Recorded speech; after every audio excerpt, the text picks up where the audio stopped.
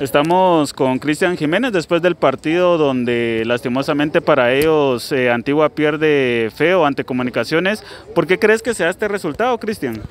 No, creo que eh, lastimosamente dejamos de hacer cosas que, veníamos haciendo bien. Eh, por ahí el primer tiempo, dos jugadas donde podemos resolverla mejor, caen los dos goles de ellos. Eh, sabemos de que Comunicaciones es un equipo que ante cualquier error te, te puede vacunar. Eh, pecamos mucho inocentes y creo que eh, por ahí se inclinó un poco el partido a, a, ellos. Habían venido de un resultado positivo, digámoslo así, de, de sacar el punto allá en Jutiapa.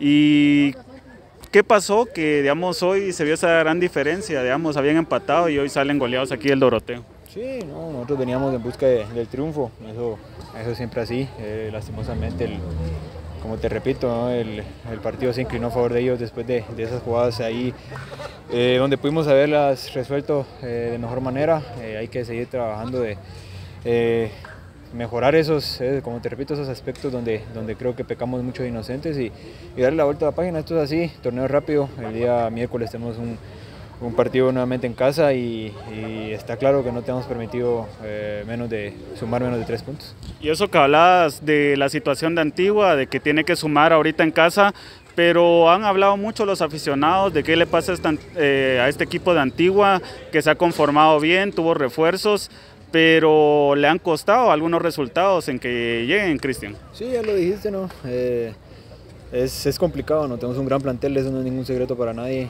Eh, lastimosamente las cosas no se han dado de, la mejor manera. Esperemos, ¿no? Esperemos de que eh, conforme va pasando esta segunda vuelta eh, podamos ir mejorando, ir haciendo las cosas mejor. Bueno, estamos en una posición incómoda el, día de hoy en ese octavo lugar.